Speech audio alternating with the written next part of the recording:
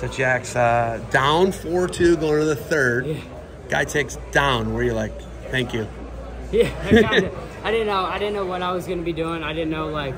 So there's there's two minutes. Obviously, I didn't know if my coaches wanted me to like let him up and then try and get two takedowns in a tied up or uh, work for the turn. But I figured like first 30 seconds I'm gonna work for the turn, and I was I was able to get it. I mean, thankfully, my top game is something we work on a lot. So I've been uh, practicing for moments like that. You know, I mean, you never know when you're gonna be down. Third period, it's his choice. So you just gotta get it out. Goes to overtime. Late escape, right? Kind of a scramble. Uh-huh. Get, go to overtime. Any doubt in your mind you weren't getting that takedown I overtime? mean, I was, there was two things I was thinking about during the match. It was, uh, man, am I tired? And uh, just looking for the next point. I mean, I didn't know what I was going to be going to do. I was just going to go out there and wrestle and try and like feel what was open because, like, I mean, his, his defense. Like, I, I tried a couple half shots. I didn't really get to my offense like I should have, but I mean, he was the one that was offensive. So I didn't know I was. I didn't know what I was going to have to do except just like wait for an opportunity to come and try and make the most of it. Rematch tonight? Yes. Beat you Oh, yeah. last year, Yeah, in overtime. right? Yeah. So big one, Lilledahl. Yes. He's good. You're good. Yeah, I'm, I'm excited for it. I mean, I'm just gonna let it fly. I mean, I'm not going out there with like the like I have to win mindset. Like I think I probably was last year. I'm just going out there like, hey, I'm just gonna go wrestle. You know, I think something that one of my coaches and my dad's been talking to me a lot recently is just like, I mean, you don't have to put so much pressure on yourself. If you really think about it, like, there's two things that I feel like wrestling is. I mean, it's number one, it's it's a sport. I mean, obviously it's just a sport. So I mean, there's more things out there, and then that like going out there wrestling, like if you just burn it down into one idea, I feel like it's the idea of you're just going out there and you're showing your talent and your hard work. So I'm gonna go out there, I'm gonna show the talent that uh, God has given me, which I'm truly, truly blessed for, and all the hard work and all the late nights, early mornings that I put in. Okay. Something's really changed. Your wrestling has evolved in like way more rough physical style. Yeah. You used to be real smooth and it- mm-hmm. everything was methodical and you were Yeah. just now man, that quarterfinal yesterday was like I was gonna call the Cuyahoga Falls police on you. You're super physical now. Yeah. Is that from wrestling with Bo, Melvin, what, what Mason? Like yeah. where, where's that coming from? It's a mixture with all all of our team. I mean, I'm, I'm the smallest guy in the room now, so you know the slickness, like the elbow passes, all the funk rolls and stuff. I mean, it gets hard to do when you're wrestling guys that are bigger. So I got to find ways to kind of counteract them. And I've noticed that like hand fighting hard, getting them a little bit tired, get their arms just like 10 pounds heavier, back back, back down to like my weight, you know. Then things things get easier. college open, you wrestled and you put yourself out there. You don't get the results you want, right? But how good was that college open for you to, to go to Clarion? Yeah, I mean, I think losing to Blaze, obviously, like it sucks because I mean he's he's super good, and it would have been like a great win and something. And then obviously wrestling Ramos. I mean, I've been looking forward to trying to wrestle him, but you know, God's plan that wasn't what it was today or back then. So.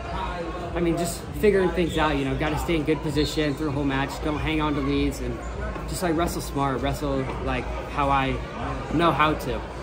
Feeling Ramos, did it feel like anything, any different that you feel every day in your wrestling room with those guys that we just mentioned? No, I mean we we're stacked from even 106 up to heavyweight. I mean we got a loaded team and everybody brings something different. So I feel like any college guy that I could wrestle, I get a part of that from, let's say our 150 pounder or our 114 or Bo. I mean I get a piece of like every college field every every single day. All right, I need a quick prediction.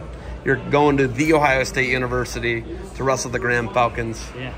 Give me some picks. Get, let, let me tell. Tell me what the final outcome will be. Will it be the Crushers? Will it be the Falcons? Who you got? obviously, I mean, McCort's my team, so I, I think I think we're gonna go in there. There's gonna be great matches, but I think just like our firepower from 120 up to like 175, I feel like we're loaded in there. And on a good day, all of our guys could beat any other team. So 14 weight classes. Give me Yeah. give me a count. Eight to six, nine nine nine nine five. What do we what do you I'm got? gonna I'm gonna go nine five, Nine five nine five Uh, Crushers, obviously. eight six. We Eight, got, six we crushers. Forfeit in there, so I think around eight six. Yeah. Eight six Crushers. Yes. Bonus will win it. I think. we Of, of course, that's what you guys do. You bonus everybody. Yeah. All right. I'm excited for it. I might be at that one. Oh, good. Maybe Yeah. Have to check it out. Uh, I'm you got, for it. You got anything else for me? All glory to God. I mean, He's the one that, uh, while you're standing here, either listening to this or at the Ironman building, I mean, God's got us here safely. He's kept us safe. So I mean, all glory to God always. Okay, and the most Jax Forrest thing about this interview? How long have your shoes been off? Uh, so my match is, I mean, I, I, I like to wear the same socks. I mean, I wear one of the socks that uh, I've got from. Did you say winter socks? Just the, winter? Did you say winter No, no, socks? no, just regular regular socks. Got it. I was like, So, this guy's wearing. yeah. Was he Mike Zadick? What's going Yeah. on here? So I have I have two different socks that I wear. They're both yellow. They both represent God. I feel like in a different way. I've done at Worlds right after I lost. I had a really long conversation with somebody who's who's been super good to me, and he gave me these socks. And so I feel like that's kind of like the the God that's there for me when I when I need him when like t- times get tough. And that's always on my it's always on my right one. And my left one is when I got from uh, another guy, really good guy out at the Olympic Training Center and I feel like that's just the guy that's like he's gonna keep me strong when I need him. So I, I, I did two different parts of him, so I feel like uh, it's just representing God and ha- having him with there at me at all times. I appreciate But the story behind the bare feet. Yeah, so back to the bare feet. I mean, I, I get sweaty. I get sweaty feet, you know. Well, I think I think most of us do. I'm not gonna lie to you. And I like to keep them semi-clean, like as, as long as I can. So after I match, I just take them off, you know, Got it. open, Air them out. air them out, you know. And that's why we're here. Yes.